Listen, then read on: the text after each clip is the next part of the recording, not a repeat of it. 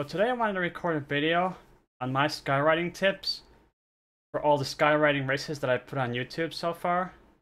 And many of them you heard me refer to things like the skyward flick, which is maximizing skyward ascend for speed boosts instead of using surge. And you'll also notice that I play a lot in first person camera versus third person. I'm going to explain the difference between the two strategies because both are viable. I'm going to show examples of what one is good at versus the other. Let me start with that. I'm going to do this race in third person mode first and explain the advantages and disadvantages of it. The advantages is that you can see more around you and you can, more importantly, you can see your Drake's animations to tell how fast you're going or when you're coming in or out of a surge. Like uh, this Drake animation specifically, I like this Drake because not only has low profile, with the wing animation is very telling about when your surge has ended. So when you're on a race where, say, you're spamming surge, you use the wing animation to tell when to hit the next surge, because the wings go in when the surge is active, but as soon as that's ending, the wings flick back out. And that's that, that, that animation of flicking back out, that's the cue to hit surge again to maintain your momentum. Because if the wings are out for more than half a second, your speed drastically starts to fall off. So when you're in a, when you're in a sprint, you use the wing animation in third person view to know when to time your surges for maximum efficiency. Because if you spam surge too fast, if you're if you're clipping your previous surge with your next surge, you're wasting vigor. But if you surge too slow, you lose speed. So you have to know the right time to surge, and that wing animation is very key for doing that. Now, for the uh, purpose of demonstrating that, and using the third-person camera to maximize that, I'm basically going to do this course kind of wrong. I'm going to get a shitty time for it, because I want to show off this the, the surge animation and surge timing. So I'm basically going to be doing some sprints in a course that's not a sprint. So, with that said, don't judge me at my time, because I'm using this course to, to showcase skills versus actually doing the course properly in this first example. I'm going to do challenge because I don't want any vigor orbs in there. I want to showcase just using the skills. I'm going to pull vigor on the start.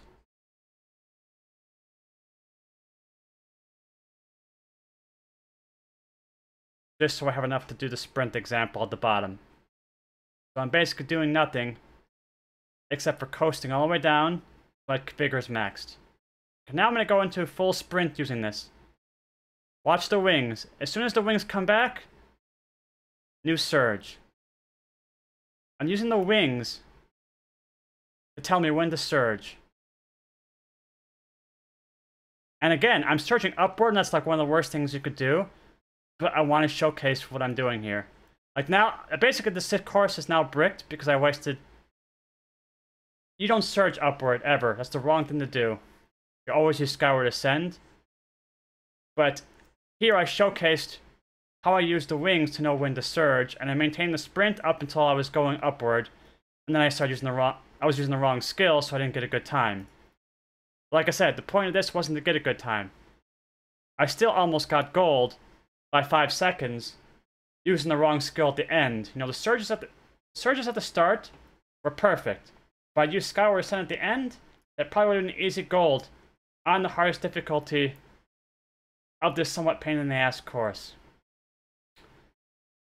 Now I'm going to show the other perspective, doing it in first person. Now first person, you can't use the wings to tell when your surges are going, and that's a huge caveat here. If you rely on the wings, like I, like I just showed you a trick that you can't even do, in this perspective. So it's like, well, why would you play in this perspective? Well, this has pros as well. In this perspective, sharp turns are easier to make because when you need to turn quickly or react to something that you weren't expecting to, like let's say uh, there's a fireball in your path and you need to go around it. In this perspective, it's much easier to make corrections or sharp turns than it is in this perspective. And that's where this comes in to an advantage. It has another advantage too, which I'm going to go into in the next tip, but first I just want to show doing the same race in first person. And again, I'm going to do it kind of wrong, because I want to re repeat it the same as last time. I'm going to coast all the way down. So here's a sharp turn, and look how easy that sharp turn is to make in this perspective. Like, I barely move my hand, and I can make sharp movements and navigate this course much easier. I'm going to start my sprint. I don't have the wing animation, but since I usually play this way, I know exactly when to do it.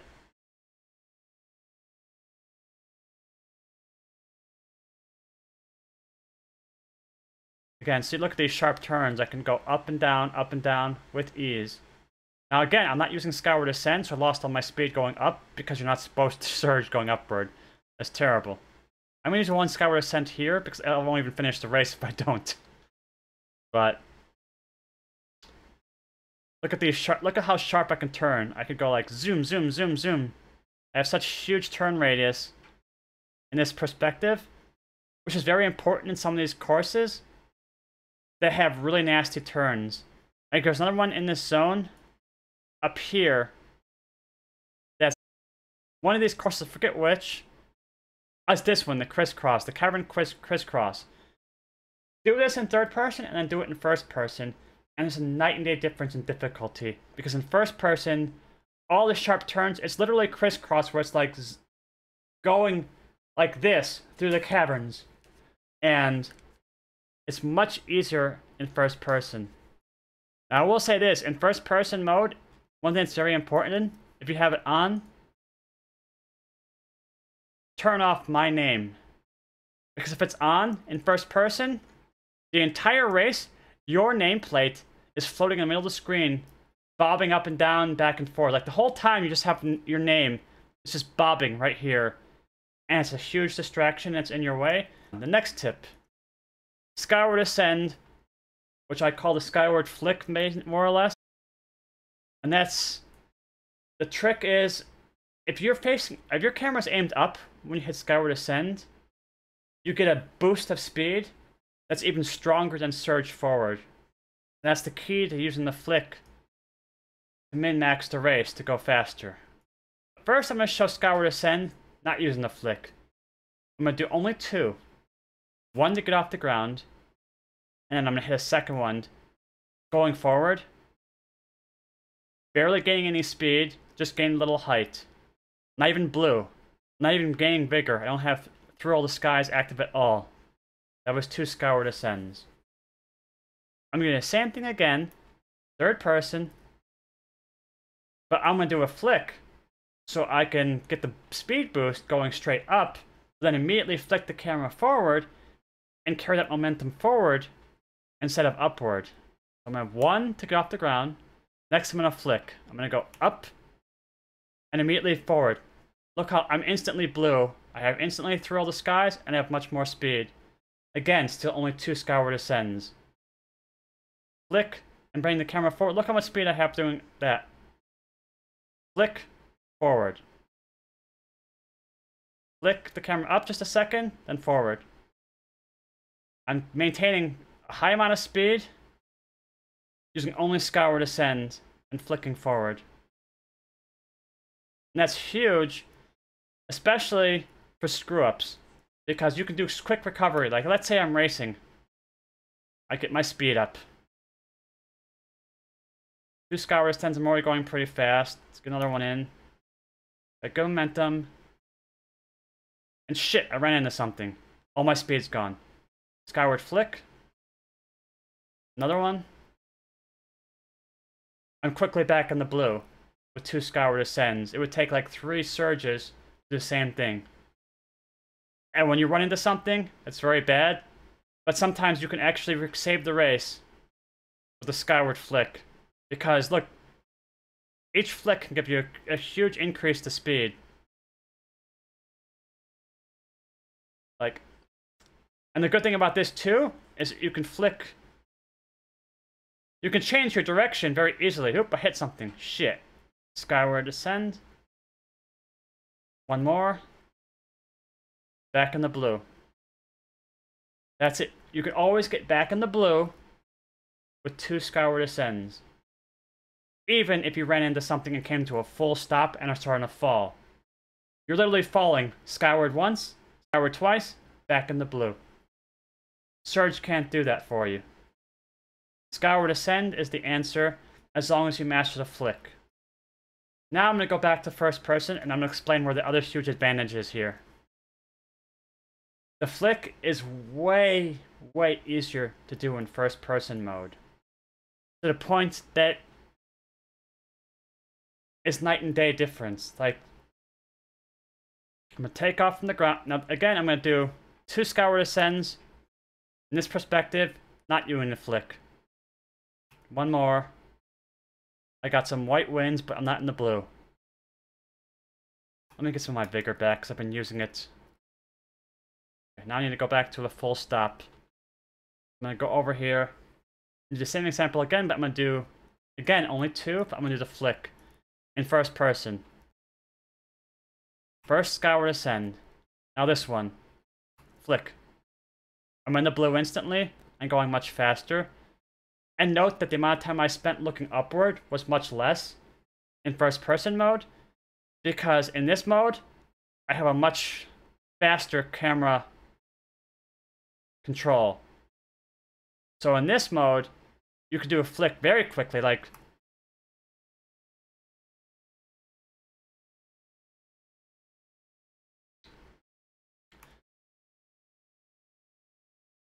you spend less time going upward and more time going forward, and you get this much camera control. So now I'm going, I'm basically into a sprint now, using Skyward Ascend, doing these little mini flicks. I'm going really fast, using only Skyward Ascend and not Surge. And this is especially key when you're doing Challenge and Challenge Reverse, because you don't get orbs to replenish Vigor. And the Vigor Replenish skill is disabled. And if you lose your speed for any reason, you hit something, like, fuck, I hit that wall. Oh no. Skyward flick. Getting back to speed very quickly.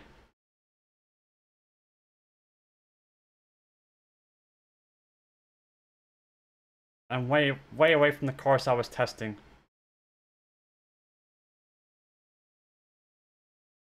And when you make a habit using the flick, you don't even have to remember switching between surge and skyward ascend when you're going upward because you just do it automatically. You're pretty much always doing it.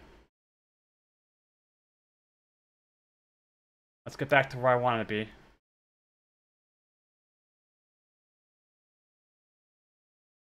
I flew away from the course I was testing on.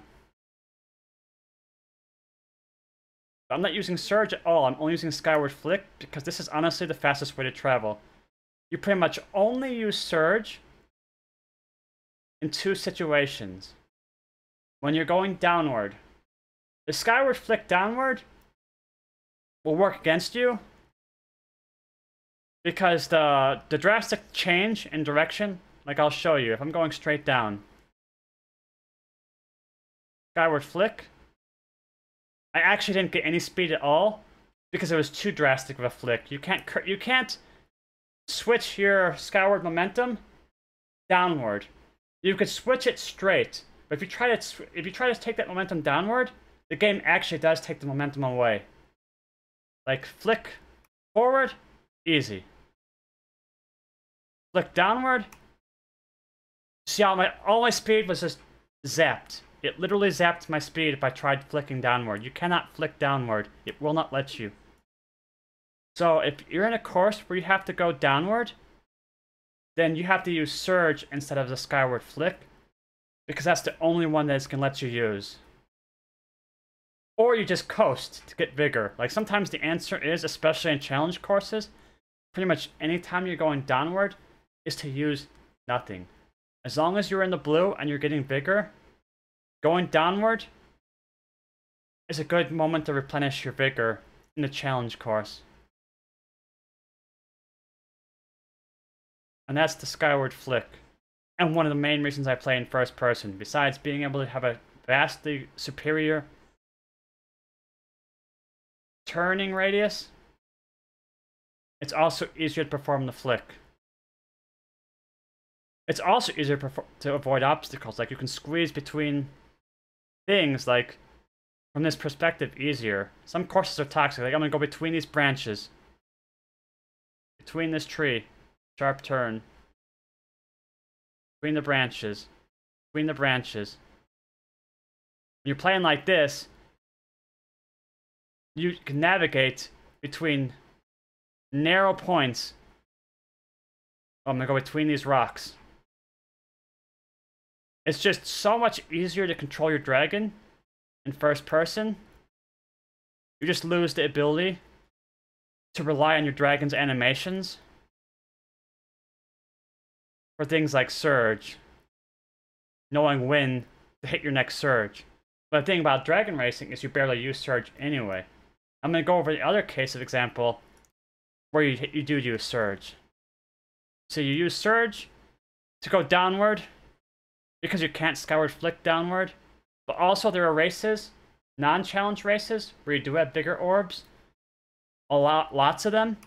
And to gold in some of those, it's tuned in a way to where you have to maintain maximum speed the entire race. And because it gives you so much vigor, you actually do that better with Surge over Skyward Ascend. Because when you ever do Skyward Ascend, you do slightly go in the wrong direction because you have to go up a little bit before going forward. But if you have infinite vigor, then you don't want to go up at all. You want to keep going forward at maximum speed. So like, for example, the Kalimdor Cup had a, a race down here, here, where you're like zooming around and you have to stay full speed the entire time. In this one, you're basically spamming Surge because you have infinite vigor. And those are pretty much the only two times you use Surge. When you're going down, or when you have a surplus of vigor, or infinite vigor even. Any other time, you're using the Skyward Flick.